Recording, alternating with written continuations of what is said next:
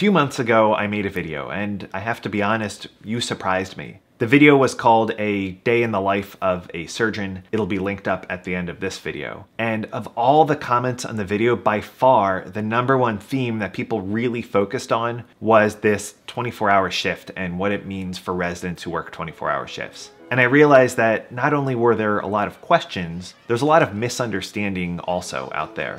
And so I thought it might be cool to make a video explaining a little bit more about what goes on. And so you're not stuck talking to me the whole time, I thought I might bring in some friends who are surgery residents also.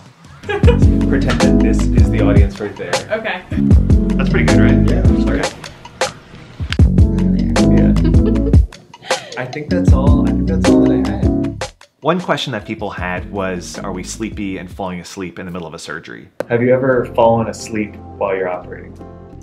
Never fallen asleep while operating. No, definitely not. No, not in the operating room. That doesn't happen. Doesn't happen. No, honestly, when you're operating especially, kind of get an adrenaline rush and you're hyper focused for the most part. The shifts tend to go pretty fast, especially when you're busy.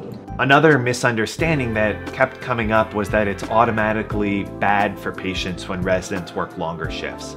There was this idea that, hey, if I'm a patient, I don't want a doctor that's working a long shift, I want a doctor that's just come in. And the truth is, it's a little bit more complicated than that. So I think the biggest reason why we take these 24-hour calls is to uh, have that continuity of care. It's better for patient care because there's one person that's responsible for the entire aspect of a patient's care that day. So, you know, if you get called to the consult, you see that consult. You're the person to admit the patient, you're the person to operate, you're the person that takes care of the patient postoperatively. Another question that people had was, how do we stay alert the whole time during 24 hour shifts? The reality is there are lots of ways that we do this. So I definitely have coffee, but on top Coffee's of boring, yeah. but on top of that, I think just having a system, especially when you're there for um, an, ex- an extended period of time, um, when you're going to check up on things, uh, just a system, a way that you're going to do everything.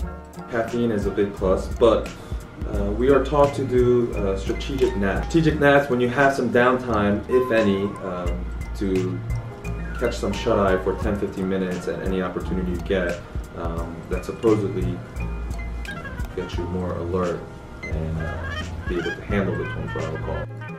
Something else that really cracked me up was this idea that residents are working 24 hours because like we're greedy and we just want more money. And that's also kind of funny, but it's totally not accurate. So the money thing is definitely not the reason why we take these calls. Um, Do you get paid more as a resident when you work No. a 24 hour? technically, you get paid less by the hour because because we're you know on a salary, so we get paid uh, the same amount no matter how many hours you work. So the less hours you work, you know, technically you are getting paid more by the hour. But no, the financial is not a uh, is not part of the reason why we take 24. I hope you found this interesting and I hope this kind of sheds some light on what we do. If you're new to this channel, make sure to subscribe for updates. And if you have any more questions, let me know in the comment section below. All right, I'll see you guys next time.